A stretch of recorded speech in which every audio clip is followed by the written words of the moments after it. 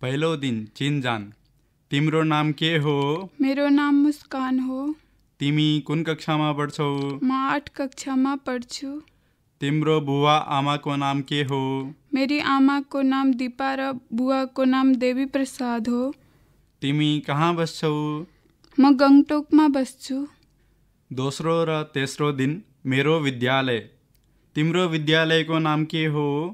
मेरो विद्यालयको नाम राजकीय बाल विद्यालय हो।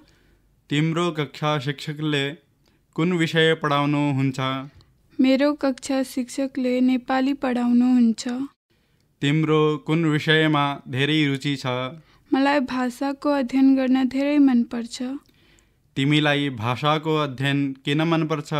किनकि यसमा कविता कथा र नाटक आदि हुन्छन्। हो हो। नाटक त हामी खेल्न पनि सक्छौ। तिमी कुन कुन भाषा बोल्न सक्छौ? म नेपाली अङ्ग्रेजी भुटिया र हिन्दी बोल्न सक्छु। चौथो दिन आमा बुवा। तिम्रो घरमा खाना कसले पकाउँछ? मेरो घरमा आमा र बुवा दुवैले खाना पकाउनुहुन्छ।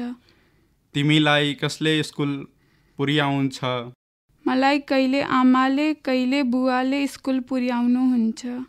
शिक्षक अभिभावक मिटिङको लागि को आउनुहुन्छ? कहिले आमा त कहिले बुवा आउनुहुन्छ? पाँचौँ दिन खानपान। तिमीलाई के खान मनपर्छ? मलाई ढिँडो मनपर्छ। ओहो तिम्रो ठाउँमा कुन फल धेरै पाइन्छ त? हाम्रो ठाउँमा अम्बा मेवा अधिक मिल्छ तर मलाई भने केरा मनपर्छ। छठौँ दिन स्वास्थ्य। तिमी बिहान कति बजे उठ्छौ? म बिहान छ बजे उठ्छु। तिमी व्यायाम गर्छौ? अँ म योग गर्छु। तिम्रो स्कुलमा कुनै योगको शिक्षक हुनुहुन्छ त?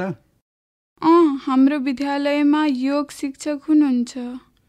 उहाँले हामीहरूलाई योग र अन्य व्यायामहरू सिकाउनुहुन्छ सातौँ दिन खेलकुद के तिमीलाई खेल्न मनपर्छ? मलाई फुटबल मन खेल्न मनपर्छ। मलाई घरभित्र खेल्ने खेल धेरै मनपर्छ मलाई पनि म टेबल टेनिस खेल्छु। तिमी भिडियो गेम खेल्छौ? नाइ मलाई भिडियो गेम मन पर्दैन। मलाई खेल मैदानमा खेल्न मनपर्छ जस्तै कबड्डी। आठौँ नवौँ र दसौँ दिन हाम्रो सेरो फेरो। तिम्रो ठाउँमा कुन नदी बग्छ? मेरो ठाउँमा टिस्टा नदी बग्छ। त्यसको तिरमा धेरै बगैँचाहरू छन्? हामीहरू त्यहाँ घुम्न जान्छौँ। तिमी घुम्न कहाँ जान्छौ? हामीहरू बगैँचामा घुम्न जान्छौँ। हाम्रो सहरभन्दा बाहिर एउटा पहाड छ। त्यो ठाउँ घुम्नको लागि धेरै नै राम्रो छ। तिम्रो ठाउँमा खेतहरू छन्? अँ हाम्रो ठाउँमा धेरै खेतहरू छन्। त्यहाँ वन पनि छ त्यो वनमा एउटा झरना पनि छ। ए तिमीले झर्ना देखेको छौ? देखेको छैन तर देख्न चाहन्छु। हाम्रो गाउँ आऊ। म तिमीलाई झर्ना देखाउँछु। एघारौँ दिन मौसम। उस आज धेरै गर्मी छ। अब पानी पर्नुपर्छ। तिम्रो ठाउँमा मौसम कस्तो छ? यहाँको मौसम सामान्य छ। तिमीले मरुभूमि देखेका छौ? नाइ मैले देखेको छैन। त्यहाँ त धेरै गर्मी हुन्छ। अँ तर रातिमा बालुवा चिसो हुन्छ। म पनि मरुभूमि देख्न चाहन्छु। म बितेको छुट्टीमा परिवारको साथमा गोवा घुम्न गएको थिएँ। वहाँ धेरै पर्यटकहरू घुम्न आउँछन्। बाह्रौँ तेह्रौँ चौधौँ र पन्ध्रौँ दिन चाडपर्वहरू तिम्रो मनपर्ने पर्व कुन हो? मेरो मनपर्ने चाडपर्व तिहार हो। मलाई पनि तिहार मनपर्छ तर दसैँ मलाई धेरै मनपर्छ दसैँमा हामीहरू टिका लगाउँछौँ। चाडपर्वमा हामीहरू धेरै मिठाई खान्छौँ। तर सेवैया ईदको खास खानेकुरा हो। चाडपर्वको बेलामा घुम्न पनि एकदम मनपर्छ। अ मलाई पनि घुम्न मनपर्छ। तिम्रो स्कुलमा स्वतन्त्रता दिवस कसरी मनाइन्छ? हामी झन्डा फहराउँछौँ राष्ट्रगान गाउँछौँ लड्डु पनि खान्छौँ। यसै गरी गणतन्त्र दिवस पनि मनाउँछौँ। दो अक्टोबर गान्धी जयन्तीको दिन हामी स्वच्छता दिवस पनि मनाउँछौँ स्कुलमा मातृभाषा दिवस पनि मनाइन्छ जुन एक्काइस फेब्रुअरीको दिन हुन्छ सोह्रौँ सत्रौँ दिन सम्बन्ध र सम्बन्धीहरू तिम्रो घरमा को को हुनुहुन्छ? मेरो घरमा आमा बुवा हजुरआमा हजुरबा काका काकी र मेरो एउटी बहिनी पनि छन्। ठिक छ।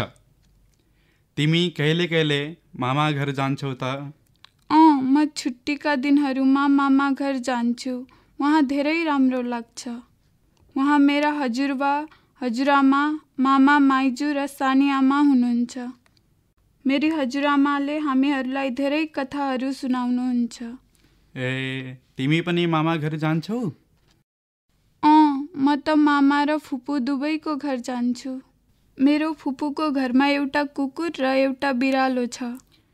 मेरो घरमा त गाई र बाछाहरू पनि छन्। हाम्रो गाउँमा भैँसी र बाख्राहरू पनि छन्। मेरो घरमा एउटा सुगा थियो। त्यो एक दिन उडेर गयो। मलाई त धेरै नै आनन्द भयो। अठारौँ र उन्नाइसौँ दिन यात्रा। तिमीलाई स्कुलको छुट्टीमा कहाँ जान मनपर्छ मलाई गर्मीको छुट्टीमा पहाडहरू घुम्न मनपर्छ त्यसो भए यो छुट्टीमा कहाँ जाँदैछौ म त यो छुट्टीमा गोवा घुम्न जान्छु। मेरो मन त जाडोको विदामा अन्डमान निकोबार जानेछ। अरे अन्डमान त समुद्रको भित्र छ। वहाँ कसरी जान सकिन्छ? वहाँ हवाई जहाज र पानी जहाज दुवैबाट जान सकिन्छ। बिसौँ दिन मेरो सपना लक्ष्य